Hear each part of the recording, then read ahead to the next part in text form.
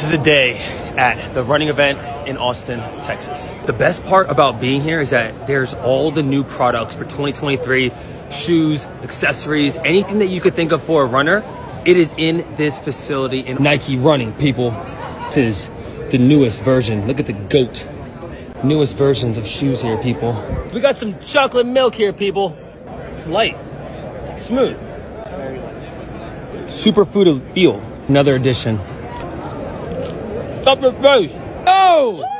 Knicks, baby! You could pretty much gear test, try products, try things to eat. It's a freaking place to be if you're a running fan. If you do nothing else, get some soft tissue work in, right? This is technology with recovery, people. I'm grimacing doing this.